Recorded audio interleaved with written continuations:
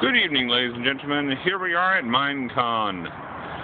And it's 5.20 in the morning. As you can see, there is nobody here.